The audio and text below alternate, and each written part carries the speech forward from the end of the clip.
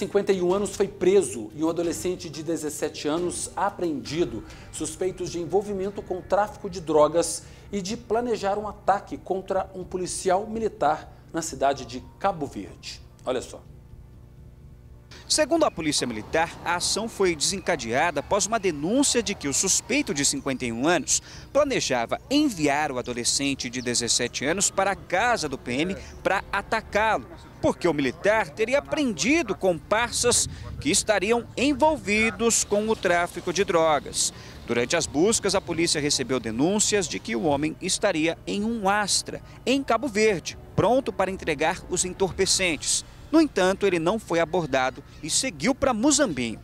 Pouco depois, uma equipe recebeu informações de que o investigado retornaria para Cabo Verde para buscar o adolescente e seguir para Poços de Caldas.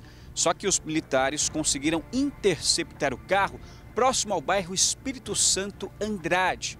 De acordo com a polícia, o suspeito tentou resistir à prisão.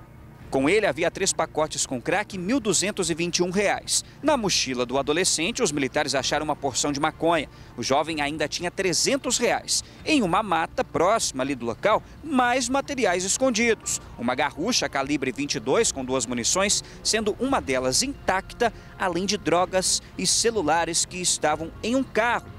O conselho tutelar foi acionado e compareceu ao quartel da Polícia Militar em Cabo Verde. Olha, ver aquela mesa recheada de dinheiro, de drogas, é uma tristeza,